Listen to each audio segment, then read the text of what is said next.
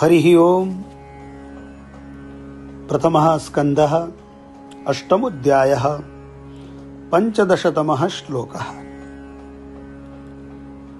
यद्यप्यश्रौ ब्रह्मशिरः, त्वमोघं चाप्रतिक्रियम्।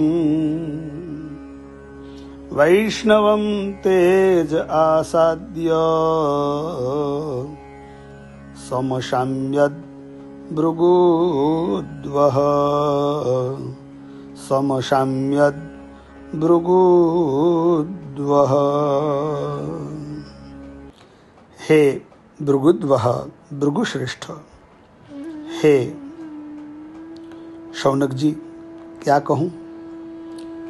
वैसे तो यद्यपि ब्रह्मशिरा अमोघम अशरम, अप्रतिक्रियम अशरम, वैसे तो यह ब्रह्माश्र, वो अमोघ है।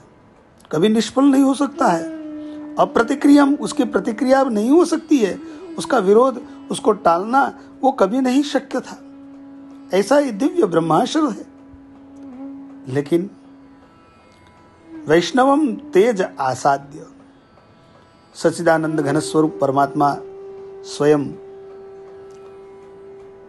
जहाँ खड़े हो जब स्वयं ही अपनी माया से संपूर्ण दया वो गर्भ को आवृत कर दिया और सबकी जहाँ भगवान के सामने पांडव खड़े हो, भला, वो वैष्णव तेज के सामने धीरे से वह समशाम्यद ठंडा हो गया, शांत हो गया और उन पांडवों की रक्षा हो गई और भगवान ने निज भक्तों की रक्षा कर ली।